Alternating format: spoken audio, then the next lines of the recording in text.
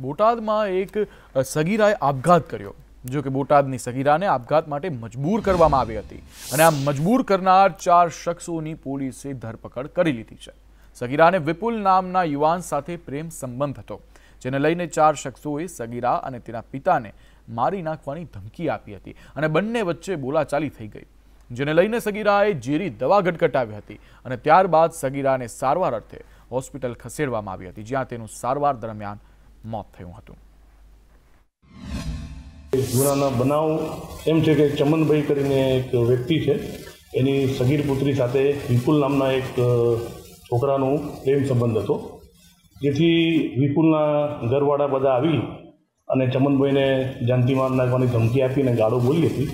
એ વસ્તુનું તે સગીર, સગીરા પુત્રીને લાગી આવતા એને ઝેરી દવા પી લીધેલી.